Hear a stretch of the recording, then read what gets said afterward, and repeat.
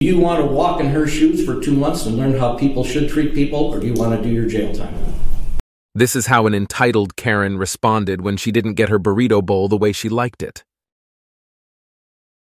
That mother must be very proud, seeing firsthand how her daughter behave.